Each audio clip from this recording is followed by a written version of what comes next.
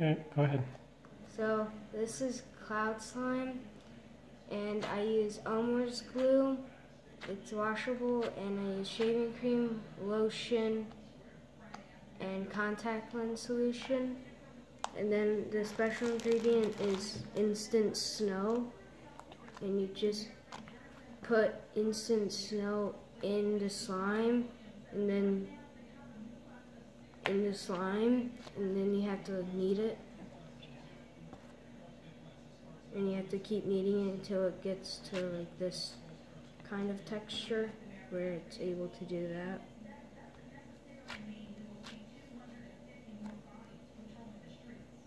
And how is it different from the others? It's not. Huh?